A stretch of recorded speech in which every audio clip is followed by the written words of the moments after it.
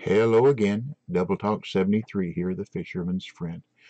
What I'm going to try to show you this time is how to catch the green ogre gar in North Carolina. And uh, they're not hard, they're, it's just time consuming. And I also want to show you something else that uh, a lot of people I found out did not know. If you click on your name, either on the map page or on your inventory page, okay? Click on your name. That gives you all your uh, uh, records biggest fishes and whatever. Over here all this information a tournament you've been in everything. But over here on the right it gives you challenges that you can do and they're they're many and varied. And uh, finish the, the, the tutorial tutorial however you want to say that. Uh, leprechaun, catch 50 leprechaun fish uh, for the, uh, during uh, St. Patty's Day. You get seven gold coins, a clover spoon. Uh, rowdy Bass Rodeo, catch 50 rowdy bass, and you'll get seven gold coins and an Irish bass jig. That's funny, Irish jig. Okay. Uh, Ghostbuster, catch 150 Ghost Pike, and you get the 14 foot 10 inch uh, Fire Phoenix rod. And a lot of guys are, are really going at it.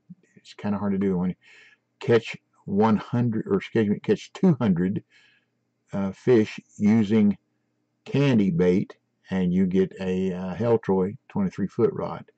Okay, this is the one we're going for right now. Grab your pitchfork, your torch and pitchfork, and go for uh, green ogre gars okay? If you catch a hundred, you're going to get the Psycho Killer Vest. I don't know what that would be, unless you're a psycho. but for 30, uh, I just got them, and you're going to get 13 gold coins, okay? And if you'll uh, wait for your cooldown, excuse me, they just bite at night. They're not going to bite during the day. They just bite at night. And here's the rigs we're going to be using. I'm going to use a, uh, I'm using three down rods and one float rig. They all have a 5-aught hook and a pig's eye for bait. The pig's eyes you get out of pumpkins as you're roaming around. Okay. Uh, this is all three rod, down rods are the same. Using a single bell, just let us know what's going on. Uh, 10 foot 2 heavy chaser, Leviathan uh, 10,000 reel, uh, 025 fluoro, 8 ounce sinker, 02 monoliter, 5 aught hook, and a pig's eye. All three of them are exactly the same. Number 5, I'm going to use a float as well because not everybody's got down rods. So hopefully we can catch one with a float as well. Uh, if we don't, we don't. That's this is the rig. We'll be fishing the same spot as we will with the down rods a Brutus 910, Thunderspin 4500, 025 fluoro, the glowing pear-shaped float, 5-aught hook, and pig's eye. Okay? So we're going to go to North Carolina, so make sure you got a license. Mine ends at 255 tomorrow. Okay. We're not going to be using our canoe. And I'm going to show you where we'll be fishing uh, daytime I'm going to show you but then at night this is where we're going to spawn in is a great parking job. I don't really think so. Hmm. I have I'm in Tennessee. I've seen parking jobs like this believe me and they're not too great. Okay we're going to walk down over here go to the right now there's not a whole lot of space here to put down your uh, rod holder if you're using.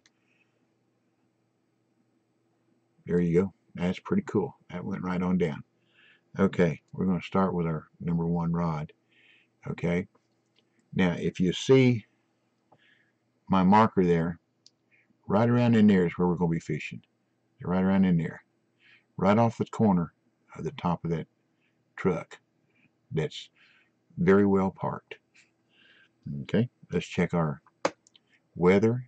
Like I said, we Only going to be fish at night peaks. So we got 11 to 11 p.m. to 1 a.m. night peak. So that's where we're going to fish. We'll advance our time to 11 p.m.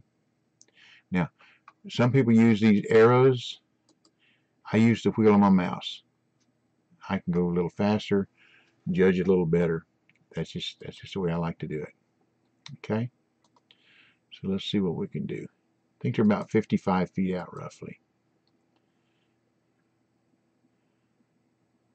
Yeah, give or take a few.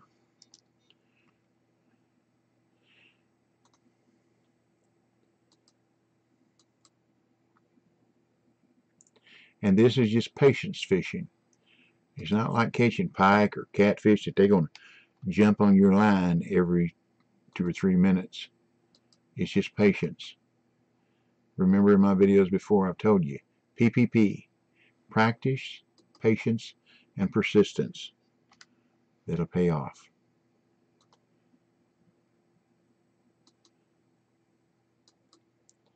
And once you catch your first one over here, you can set you a marker up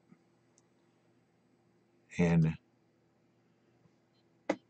all you gotta do is when you when your rods are all out hit your M button. Go there.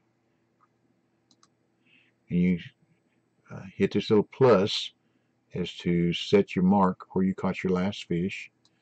That'll open up. And then you annotate it. We got a 60 inch leader on the float. We're using a 5 aught hook. And you can also use bottom rods. That's my annotation once you annotate if you just close it out it's gone. You come down and hit this check mark okay? And that tells you that it's good.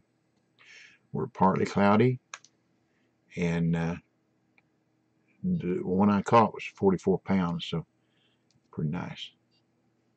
Turn my light off so I can see them better okay? Number three.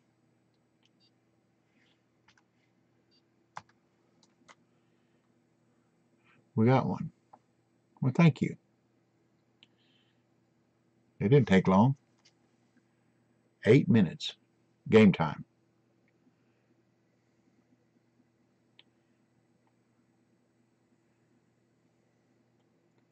Here we go.